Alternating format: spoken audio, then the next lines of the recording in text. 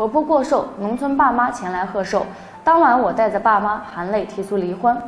大多数人都结过婚之后，婆媳关系很难相处。其实我也这么认为。接下来这一篇是我通过朋友介绍而看到的一篇文章。故事中的女人公叫小丽，男人叫胡峰。因为他们两个人是在一次偶然的机会认识的。男方家里面很有钱，而女方家里面却没有钱。因为这个女孩生活在一个农村。当他们两个人相处的很融洽时，打算谈婚论嫁的时候，男方的妈妈有一点不同意，因为他根本就不喜欢这个女孩，他觉得自己的儿子这么有实力，应该找一个和他门当户对的人才合适。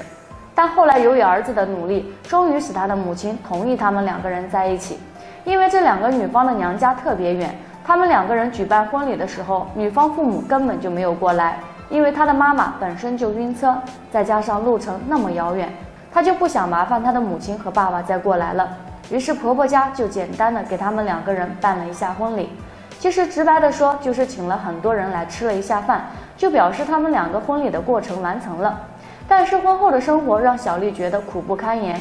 她知道婆媳关系很难相处，所以她每次做任何事情的时候都很小心翼翼，生怕自己一不小心就把事情做错了，从而使自己的婆婆生气。因为她的婆婆本身就是城里人。都说城里人的脾气特别坏，永远都看不起这些穷人。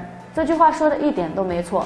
当小丽自打来到他们家之后，她的婆婆根本就瞧不起她，总是对她呼之来呼之去，从来没有把她当儿媳妇看待，也会时不时的在外人面前说自己儿媳妇不是不管儿媳妇怎么努力都达不到她心目中的要求。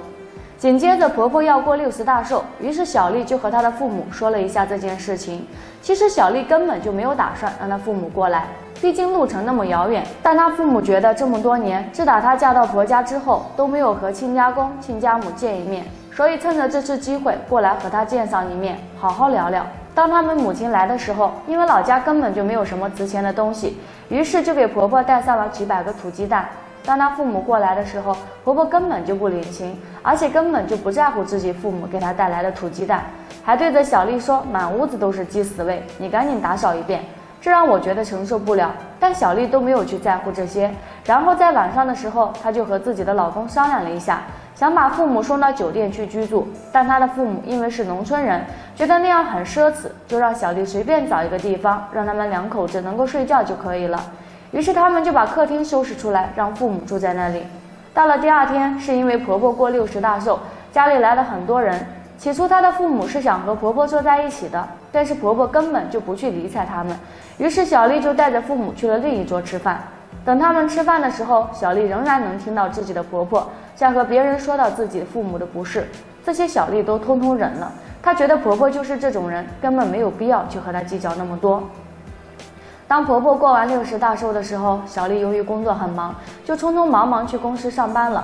当她晚上十点钟回到家的时候，发现自己的父母不知去了哪里，于是她就开始问老公。老公刚开始根本不愿意说，后来被小丽逼得没有办法，说了事情的经过。小丽顿时间觉得很生气，但她顾不了那么多，因为自己的父母农村来的，根本就认不得地方。于是她出去找父母。经过半小时之后，她终于找到了自己的父母。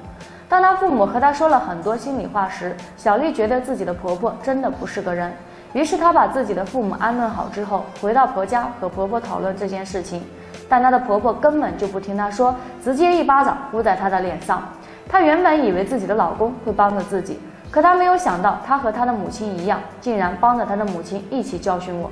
我觉得这种日子我根本就过不下去了。于是我就和他的儿子提出离婚，发誓从今以后再也不要和他们有任何关系。所以女人们，在你们挑选另一半的时候，一定要想好了，不要因为一时冲动而毁掉了自己的一辈子。